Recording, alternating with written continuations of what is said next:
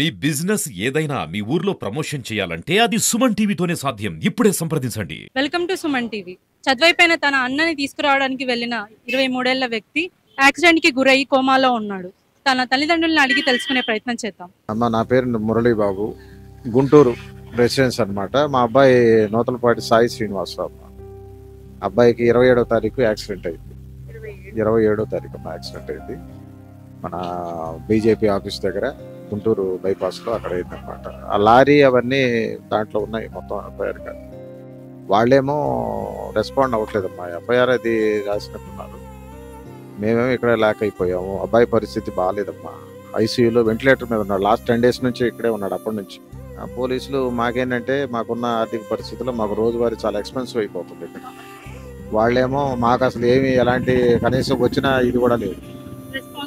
అసలు రెస్పాన్స్ లేదు. అవతల వాళ్ళు ఏది లారీ సంబంధించిన వాళ్ళు ఎవరు కూడా వాళ్ళ ఓనర్స్ కానీ ఎవరు కూడా ఇక్కడికి వచ్చి కనీసం చూసింది లేదు చెప్పింది లేదు. మాకు మేమే ఏం చేసామంటే మేము మాకున్న పరిస్థితుల దృష్ట్యా ఇక్కడే మా అబ్బాయిని మా మా అబ్బాయిని పోగొట్టుకోలేం కదా మేము. వాళ్ళ కోసం ఎదురు చూడకుండా మేము ఏం చేసామంటే మాకున్న దాంట్లో అప్పులు తీసుకొచ్చి బయట నుంచి పెడుతున్నాం. ఇప్పటికే పది లక్షలు. ఫైల్ చేశారమ్మా చేశారంటున్నారు మా బ్రదర్స్ వాళ్ళు ఫాలో అప్ చేస్తున్నారు. నేనేమో మా పేరెంట్స్ మేమేంటంటే మాది నల్లపాడు పిఎస్ అమ్మ. నల్లపాడు పిఎస్. మా ఊరు గుంటూరేనమ్మా ఏటుకూరు రోడ్డు రామాలయం గుడి ఎదురు one town Guntur one town. బాబు వెళ్ళిన పర్పస్ ఏంటంటేనమ్మా పికప్ చేసుకుని వద్దాం వాళ్ళ బ్రదర్ అని చెప్పి వెళ్ళాడమ్మా ఇరవై ఏడో తారీఖు. ఆ లారీ అతను తాగేసి నిర్లక్ష్యంగా వ్యవహరించి రాంగ్ రూట్లో వచ్చి అబ్బాయిని వెనక నుంచి గుద్దేశాడని చెప్పేసి అక్కడ ప్రత్యక్ష సాక్షులు చెప్పిన అది తర్వాత ఎవరు ఫోన్ చేశారమ్మా? ఆ స్పాట్లో మేము లేవు. ఇక్కడ ఏంటంటే పేరెంట్స్గా మా వన్ జీరో ఎయిట్లు తీసుకొచ్చి రమేష్లో చేస్తారు. కార్పొరేట్ స్థాయి మాది కాదమ్మా అది. మేమేదో సామాన్యం నేనేదో రిప్రజెంటేటివ్గా పని చేసుకుంటాను. నేను రిప్రజెంటేటివ్గా పని చేస్తానమ్మా. అలాంటి స్థాయి మాది కాదు. రోజుకు లక్ష రూపాయలు పైన అబ్బాయి ఇరవై రెండు date of birth two thousand one అమ్మా. డేట్ ఆఫ్ బర్త్ నాలుగు ఏడు రెండు వేల ఒకటి. అబ్బాయి మెడికల్ ఎంబీబీఎస్ అయిపోయింది మెడికో. సర్టిఫికేట్ ఉంది. గుంటూరేనా? అక్కడ చేసి వచ్చాడమ్మా. కిర్గిస్తాన్లో చేసి మొన్నే వచ్చాడు. రేపు స్క్రీనింగ్ టెస్ట్ రాయబోతున్నాడు. రేపు జూన్ జూలైలో టెస్ట్ ఉంది ఇక్కడ. పీజీ కదమ్మా. ఇక్కడ ఎలిజిబుల్ టెస్ట్ రాసి ఇంటర్న్షిప్కి వెళ్ళబోతున్నాడు హౌస్ సర్జన్ అలాంటి బంగారు భవిష్యత్తు ఉన్న అబ్బాయిని వాడు పొట్టను పెట్టుకున్నాడు అమ్మా అనవసరంగా. ఆ డ్రైవర్ నిర్లక్ష్యం ఎంత నిర్లక్ష్యం కాకపోతే కనీసం ఆ యజమాని కూడా కనీస స్పందన లేదు. మినిమం రెస్పాన్స్ లేదన్నమాట. ఇక పోలీసు వాళ్ళు సరే సరే. వాళ్ళు నిర్లక్ష్యంగానే వ్యవహరించారమ్మా. వాళ్ళ రెస్పాన్స్ ఏముందమ్మా మీకు తెలిసిన రెస్పాన్స్ అన్ని బాగుంటే ఇదంటారే అన్ని అన్ని ఉంటే తలచారు ఎందుకని? అందరూ ఇందులో భాగస్తులు అది. జరిగింది జరిగింది. కనీసం ఆ తర్వాత బాధ్యత ఎరిగానే వాళ్ళు వచ్చి కనీసం ఇది లేకుండా వాళ్ళు ప్రవర్తించారు. మేము ఎంత బాధపడుతున్నామో మానసికంగానా శారీరకంగానా? మళ్ళీనేమో రోజు ఎంతెంత అమౌంట్ డబ్బుల మీద నడుస్తున్నాం. మా కర్మ. మాకున్న ఆర్థిక స్తోమత ఎంత? ఇప్పటికి కనీసం ఇప్పుడు ఎనిమిది తొమ్మిదో రోజు అమ్మా రోజుకు లక్ష రూపాయలు యావరేజ్ అయిపోతున్నాయి. అటు క్లినికల్ టెస్ట్లు కానీ అవి కానీ లేకపోతే ల్యాబ్ ఐసీయూ కానీ ఇంటెన్సివ్ కానీ ఇంటెన్సివ్ కేర్ ఇప్పటికీ వెంటిలేటర్ మీద ఉన్నాడమ్మా. డాక్టర్ ఇప్పటికి చెప్పలేకపోతున్నాడు. నా కొడుకు పరిస్థితి ఏం చెప్పు? ఎవరు న్యాయం చేయాలి? కనీస బాధ్యత మరి ట్రీట్మెంట్కి రెస్పాండ్ అవుతాడమ్మా. ఇప్పుడు ట్రీట్మెంట్కి రెస్పాండ్ అనేది ఆ తగిలిన ఇంజరీ చిన్నది కాదమ్మా. బ్రెయిన్కి తగిలింది. తలకు తగిలింది. మిగతా ఏ పార్ట్లను అయితే వేరే విషయం మాట తలకి ఇంతవరకు వాడు కోమాలోనే ఉన్నాడు. స్టిల్ స్టిల్ కోమాలోనే ఉన్నాడు. ఒక సైడ్ పనిచేయడం లేదు పైనుంచి కింద వరకు. పిల్లవాడు అది చూసి ఎంబీబీఎస్ అయిపోయి రేపు సమాజాన్ని సేవ చేయాల్సిన ఆ రకంగా పడిపోయి ఉన్నాడు మా బెడ్ మీద. ఎవరు చేసిన తప్పు ఇది?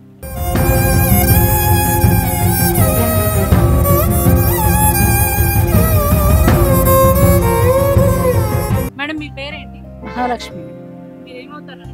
Mother mother. మా బాబుకి యాక్సిడెంట్ అయింది ఇరవై ఏడో తారీఖు. లారీ అతను గుద్దేశాడు అంటున్నా బాబు అసలు ఇంతవరకు కండు తెరవలేదు కోమాలోనే ఉన్నారంటున్నారు అది తీస్తేనే చెప్తాము అంటున్నారు డాక్టర్లు. మేమైనా ఏం చెప్పలేం కదమ్మా. బాబు రెస్పాండ్ అయితే మేము చెప్తాము. సర్జరీ కూడా చేశారమ్మా సర్జరీ కావాలని. నాలుగు రోజులు వెయిట్ చేసాము అది ఇది కావట్లేదు బ్లడ్ బ్లడ్ గ్లాట్ అయిందని చెప్పారు బ్రెయిన్లో. అది తీసామమ్మా సర్జరీ చేశారు. ఆ అబ్బాయి వెంటిలేటర్ తీసిన దాకా మేమేమీ చెప్పలేము అంటున్నారండి. పోలీస్ స్టేషన్కి మీరు కూడా వెళ్ళారు? నేను వెళ్ళలేదు. మా వాళ్ళు వెళ్ళారు. వీళ్ళకి ఏం చెప్పారు? మీరు ఎఫ్ఐఆర్ ఫైల్ చేసుకోండి. ఇన్సూరెన్స్ మాకుంది మీరు ఫైల్ చేసుకోమని చెప్పారంటండి. లారీ వాళ్ళు ఎవరైనా వచ్చారా? ఎవరు రాలేదండి. రాలేదు. ఎవ్వరు రాలేదండి రాలేదండి. రాలేదండి. ఎవరు రాలేదు. అసలు మాకు ఏమీ చెప్పట్లేదు వాళ్ళు. పోలీ కంప్లైంట్ పెట్టుకోండి. మీరు పోలీస్ స్టేషన్లో కంప్లైంట్ పెట్టుకోండి అని చెప్తున్నారంట. తెల్లారి మా వాళ్ళు వెళ్ళారమ్మా. ఆ డ్రైవర్ కూడా బయటే ఉన్నాడంట. స్టేషన్లో కూడా లేడంట. బయట ఉన్నాడంట. ఏంటి అంటే నాకు తెలియదు మీ అబ్బాయిది తప్పు. మీ అబ్బాయిదే తప్పు అంటూ స్టేషన్లో పరిగెత్తేసాడంట అతను. అతను డ్రింక్ చేసి ఉన్నాడని చెప్తున్నారమ్మా. అక్కడ చూసిన వాళ్ళు చెప్పారు. ఆ అబ్బాయి తప్పేం లేదు. ఆ అబ్బాయి తప్పేం లేదమ్మా ఆ అబ్బాయి సర్వీస్ రోడ్లో వస్తున్నాడు. వెనక నుంచి వచ్చి కొట్టేశాడు అతను అతను రాంగ్ రూట్లో వచ్చాడని చెప్తున్నారు డ్రైవర్ పట్టుకున్నారమ్మా.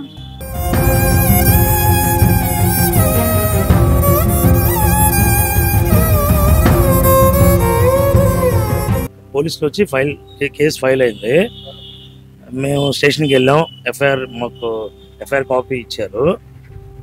ఎఫ్ఐఆర్ కాపీ ఇచ్చారు. బట్ ట్రావెల్స్ అదే రోడ్ లైన్స్ ట్రాన్స్పోర్ట్ నుంచి మేము అప్రోచ్ అయ్యాం. వాళ్ళు ఇప్పటిదాకా ఎటువంటి స్పందన లేదు. వాళ్ళు వాళ్ళు వాళ్ళు అంటే వాళ్ళు నాకు నిన్న కాల్ టూ డేస్ బ్యాక్ నేను కాల్ చేశాను. పోలీసులు అదే ఇప్పుడు కేసు ఫైల్ అయింది కదా. సో దానికి సంబంధించి నెక్స్ట్ మేము కోర్టులో ఎఫ్ఐఆర్ తీసుకొని కోర్టులో అప్పీల్ చేసుకోవాలి అన్నట్టు మాకు చెప్తున్నారు. బట్ ఇక్కడ ప్రాబ్లం ఏంటంటే ఇప్పుడు అది మిడిల్ క్లాస్ ఫ్యామిలీస్ వాళ్ళు ఎవరు రాలే వాళ్ళు ఎవరు రాలే? నేను స్టేషన్కి వెళ్తేనే సూపర్వైజర్ ఉన్నారు. సూపర్వైజర్తో మాట్లాడడం జరిగింది ఓనర్ నెంబర్ ఇచ్చారు. బట్ uh, నేను టూ టైమ్స్ నేను వాళ్ళకి కాల్ చేశాను. మీకు కాల్ చేస్తామన్నారు. వాళ్ళ సైడ్ నుంచి ఏం లేదు. మెయిన్ థింగ్ ఇక్కడ ఫస్ట్ మాకు ఇప్పుడు డైలీ లక్ష రూపాయలు అవుతున్నాయి అమౌంట్ మరి దీనికి అసలు ఏంటి ఎలా వెళ్ళాలి? మాకు ట్రాన్స్పోర్ట్ వచ్చేసరికి శ్రీ కీర్తి ట్రావెల్స్ అంట. Road Keerthi road road lines. Karampudi Nellore owner ఉండేది. సో ఒక సంబంధి ఒక మనం జనరల్గా ఒక ఏదైనా తగిలితేనే పడితేనే సారీ అని చెప్తాం. కానీ ఇంత దాంట్లో కూడా వాళ్ళ నుంచి ఎటువంటి రెస్పాన్స్ లేదని. నేను నేను ఫోన్ చేశాను వాట్సాప్లో కూడా ఆయనకి నేను ఈ జరిగిన యాక్సిడెంట్ సంబంధించిన ఫొటోస్ నేను షేర్ చేయడం జరిగింది. కానీ కూడా నో రెస్పాన్స్ ఇంకా మాకు మాకుగా మేము అమౌంట్ బాబు పరిస్థితి అయితే చాలా క్రూషియల్గా ఉంది. అన్కాన్షియస్గానే ఉన్నాడు కోమాలో ఉన్నాడు ఐసీయూ మీద వెంటిలేటర్లో ఉన్నారు.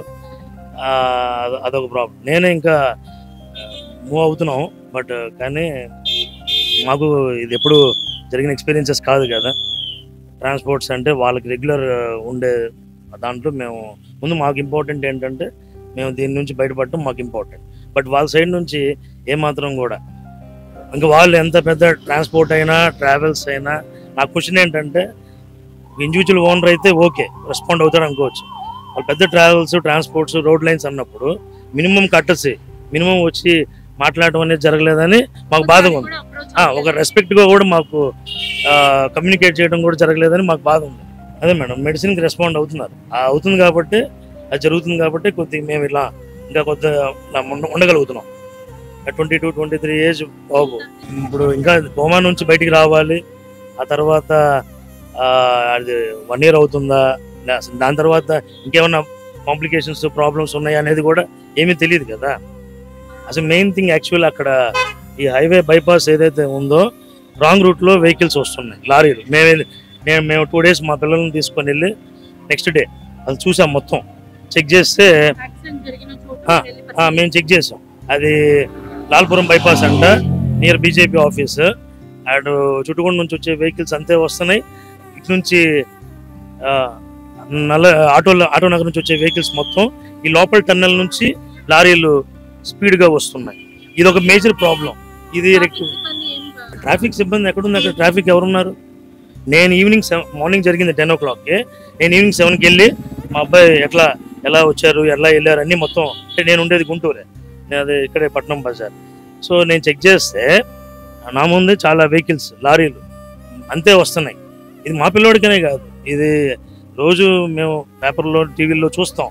కానీ దీనికి ఏదో ఒక పరిష్కారం అనేది జరగాలి కదా అనేది నేను చాలా ఫీల్ అయ్యాం మేము. ఇప్పుడు చూస్తాం. ఇప్పుడు టీవీలో లేకపోతే న్యూస్ పేపర్లో చూస్తాం. అయ్యో పాపం అనుకుంటాం బాధపడతాం.